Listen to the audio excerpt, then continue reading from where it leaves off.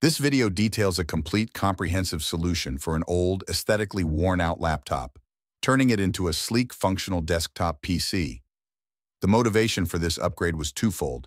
First, the old laptop's keyboard and trackpad wasted valuable desk space right in front of the user, preventing them from using multiple documents simultaneously for studying. Second, the laptop was showing its age with peeling paint, which was simply not inspiring to work on. The solution was a comprehensive overhaul and a complete redesign of the machine's form factor. First, the creator tackled the performance issues. They resolved the outdated screen resolution by opting for an external portable Full HD monitor, which is supported by the laptop's HDMI port, solving the display limitation. Next, they upgraded the RAM to the maximum supported 12 GB. For storage, they replaced the slow 2.5-inch hard drive with a faster SSD and added a second SSD by replacing the old CD drive using a caddy adapter, significantly boosting storage and speed. The most transformative part of the project was designing and 3D printing a completely new, custom-fit case for the laptop's internal components. This process involved carefully disassembling the old laptop, salvaging the core components like the motherboard and Wi-Fi antenna, and fitting them into the sleek 3D printed enclosure.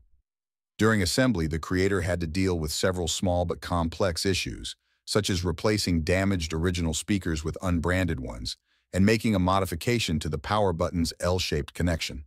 The new case was specifically designed for the Asus X550C motherboard, resulting in a perfectly fitted, minimalist housing.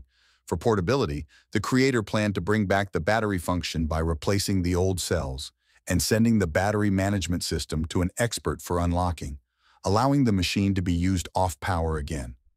The final touches included upgrading the peripherals with a new silent wireless keyboard and a wireless mouse, completely eliminating the old bulky input devices that hogged desk space.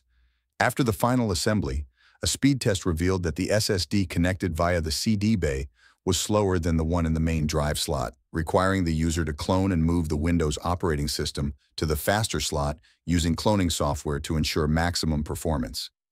The end result is a highly efficient, aesthetically pleasing computer with modern performance, a large screen, and ample desk space, effectively transforming a decade-old laptop into an optimal solution for modern study and work.